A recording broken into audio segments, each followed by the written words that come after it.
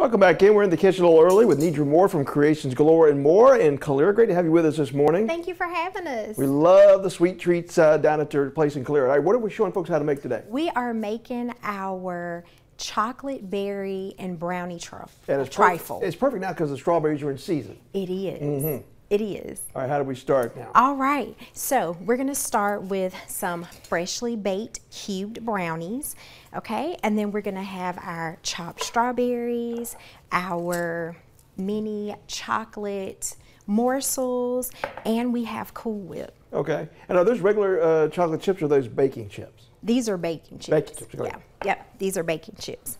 So they hold up really well, especially in the hot weather. Oh, yeah. So, Mhm. Yep. All right, so let's get started. We will, we're gonna start with our base, with our brownies. Now, do you have a homemade recipe for the brownies? I do. Oh, Okay. I Is do. pro- is it proprietary? Well, that one's secret, but we will have one for we'll you. just assume you folks, you know, you can make it out of the box. Okay. Absolutely, right. absolutely. And we're going to continue to build our big trifle Mm-hmm. over here as well. Now, do you sell them that big?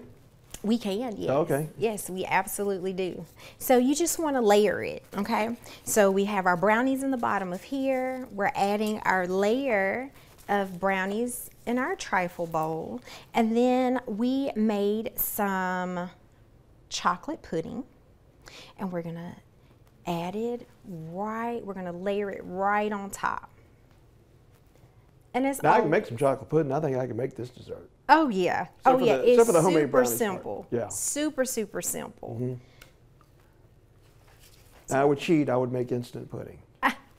Well, it's good too. It is good. It's good too. No worries. We want the summer to be easy, Mm-hmm. easy peasy. It's been a while since I made pudding, but now I'm inspired because you know I have a sweet tooth, and uh, this is definitely sweetening things up right here. I know, I know, and the chocolate, the chocolate brownies with the chocolate pudding, it's Mm-hmm. like, it's so good, so good. All right, and then we're gonna take our Cool Whip. Now I do I do know a recipe for um, you know homemade whipped cream. Yes, Yeah. You can take heavy whipping cream if you don't want to do Cool Whip, and you will just whip it until you get those stiff peaks. All right, so we're layering. So when you whip it, you whip it right. whip it good. So song reference, folks. All right. So we're gonna layer it on here, and right. it makes such a beautiful dish.